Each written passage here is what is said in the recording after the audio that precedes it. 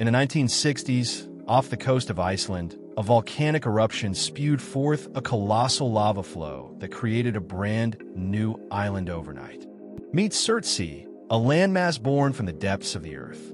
Rising from the waves at an astonishing rate of 100 feet per day, Surtsey seemed like a miracle. But this natural wonder had a dark secret. Over the next 50 years, Surtsey gradually shrunk. It started with a few cracks in its surface, then the ground began to sink, and suddenly, the island began to dissolve. The question on everyone's mind what could be causing this catastrophic destruction? The truth was as eerie as it was fascinating.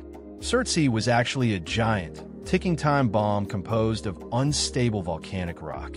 As the island's lava flows cooled and solidified, the pressure built up, causing the ground to collapse.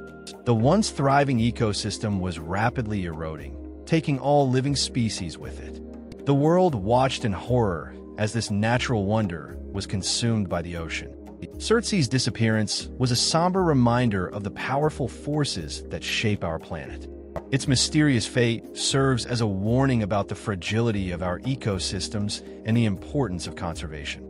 The island may be gone, but its story will never be forgotten.